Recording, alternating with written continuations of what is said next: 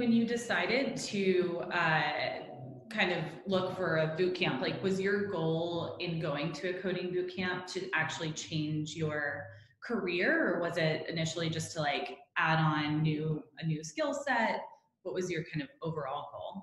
The overall goal was to change my career. Um, with uh, project management and and uh, sort of the companies that I was with, um, a, big motivator going from from what I was doing to software engineering was uh, salary. So mm-hmm. uh, project managers didn't make as much in the uh, arenas that I was in, but um, you know engineers uh, have the potential to make uh, more money and uh, grow and, and have more responsibility. Whereas a project manager, you kind of have that same stuff, but then there's always a point where you just kind of stop and you have to either become like a COO or mm-hmm. or uh, you know there isn't really that much uh, growth and then that final jump.